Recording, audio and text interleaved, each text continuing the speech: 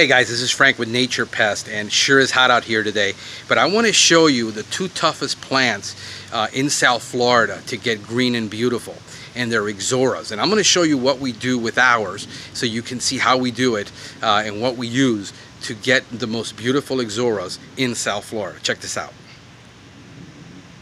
Okay, this Ixora is very, very difficult to green up. The reason Ixora is difficult to green up in South Florida is it doesn't like our soil. Our soil is alkaline, it loves acid.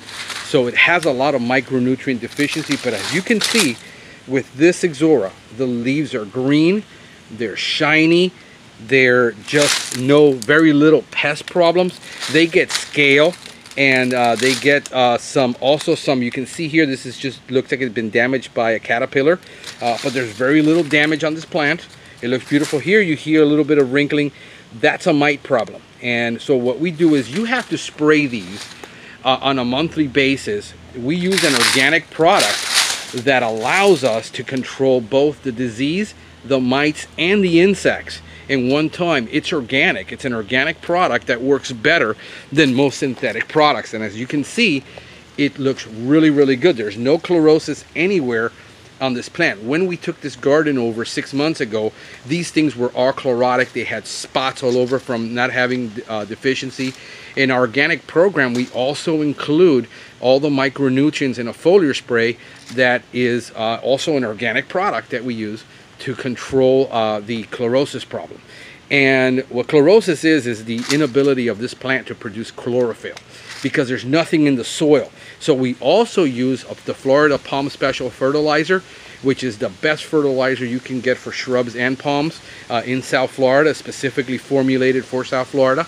And what we do is we get this uh, and we do it three times a year with this type of plant in the garden and in the palm trees to get them. You can't just do foliar spray with fertilizers and keep this plant beautiful. It's not going to happen. You can forget about anybody trying to sell you a foliar spray only service is not going to happen. So that's what this one looks like. Let me show you this other one. This is the other type of Ixora. And what happens is it gets over trimmed, over pruned. It's very chlorotic also, but look, it has a ton of flower, great color uh, on the on the uh, new stems growing. Uh, you can see it looks nice and even, the color. Very difficult to get green unless you do it this way. You have to do it every three months, uh, every three to four months with a granular fertilizer and then a monthly application of micronutrients and then also some type of insecticide. We use an organic oil blend that we custom blend uh, to get the results. It also deals with diseases, it deals with mites. Much more natural, much more effective for this type of plant uh, to have a micro uh, to do it with a natural or organic product. Hey guys, hope this video has been helpful. Do me a favor if you like the video, give it a thumbs up, subscribe to the channel, and share it with your friends to help them have the most beautiful garden.